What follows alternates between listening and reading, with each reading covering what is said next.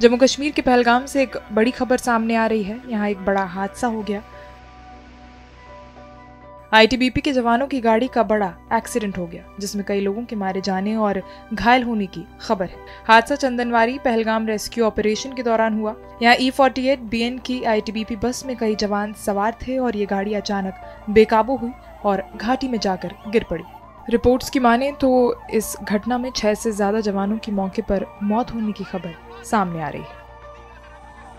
घायलों के आगे के इलाज के लिए उन्हें एसडीएच पहलगाम ले जाया जा रहा है। बचाव अभियान लगातार जारी है। इस बस में उनतालीस जवान सवार थे इसमें सैंतीस जवान आईटीबीपी के और दो जवान जे पुलिस के थे। एक अधिकारी का कहना है कि हादसे की खबर मिलने के बाद पुलिस और अन्य अधिकारी मौके पर पहुँचे और जवानों को तुरंत अस्पताल पहुँचाया गया। बस पहलगाम के चंदनवाड़ी इलाके के पास दुर्घटनाग्रस्त हुई। आपको बता दें, बस का ब्रेक फेल होने के बाद वो सड़क किनारे नदी में जा गिरी। सैनिक चंदनवाड़ी से पहलगाम की ओर जा रहे थे। हताहत होने की आशंका है। बाकी आगे की जानकारी अभी आना बाकी है। ब्यूरो रिपोर्ट, इंडिया है।